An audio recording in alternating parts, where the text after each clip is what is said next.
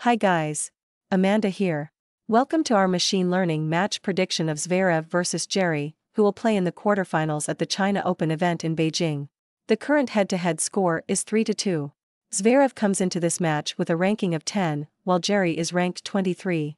Of their last 10 matches played, Zverev has won 9, while Jarry has won 7. The Matchstat.com prediction algorithm uses about 190 variables. One very important stat for this match is on hard so far in 2023, Zverev has won 49% of his own second serve points and 38% of return points, versus an average opponent rank of 85, while Jarry has won 52% of his own second serve points and 34% of return points, against an average opponent rank of 237. Here is our machine learning prediction of this match. For more in depth analysis, head over to Matchstat.com. Our predictions also include odds, so you have access to the best value bets available. See all predictions for today's matches at Matchstat.com.